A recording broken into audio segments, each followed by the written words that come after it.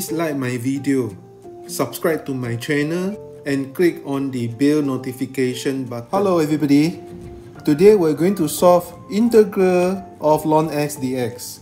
Previously, I have done two videos on integral of ln x, one using Feynman integral and the other one using integral by parts. From the question, we know today we're going to solve it using Maclaurin expansion. This is Maclaurin expansion for ln 1 minus x. The reason I need to introduce this is because there's no direct way to obtain ln x from uh, a Maclaurin expansion. So we will obtain it indirectly, where ln 1 minus x is equals to negative x minus x squared over 2 minus x power 3 over 3 which is sum of n equals to 1 until infinity negative x power n over n.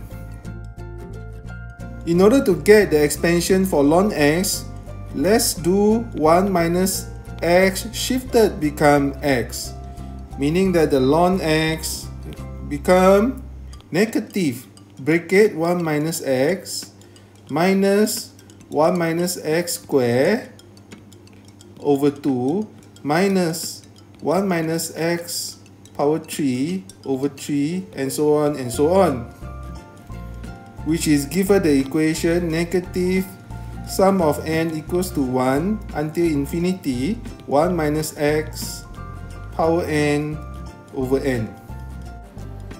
Therefore, integral of ln x 0 01 dx is equals to integral 0 01 negative sum of n equals to 1 infinity 1 minus x power n over n dx.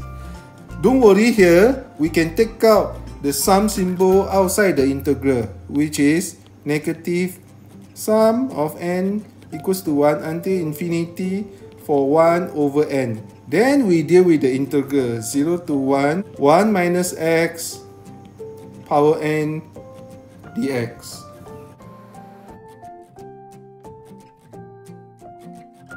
The integral 1 minus x power n can be found by the differentiate of 1 minus x which is negative multiply 1 minus x n plus 1 over n plus 1. For the Lower limit and upper limit is 0 to 1.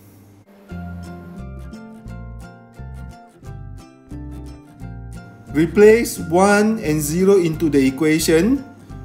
You get negative 0, negative negative become plus 1 over n plus 1.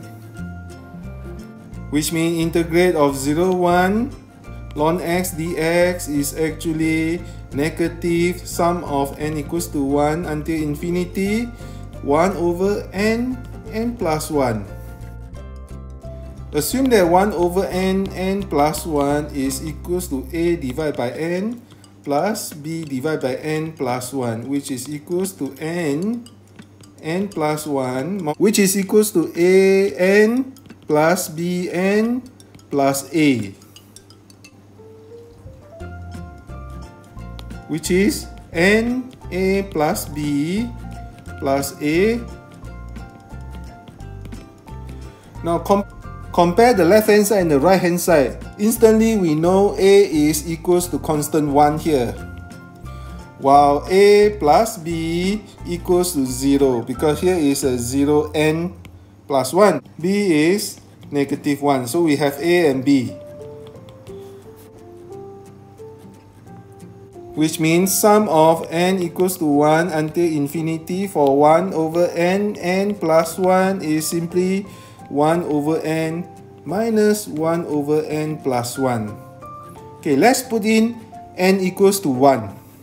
When n is equals to 1, you have 1 over 1 minus 1 over 2 plus, let's put in n equals to 2.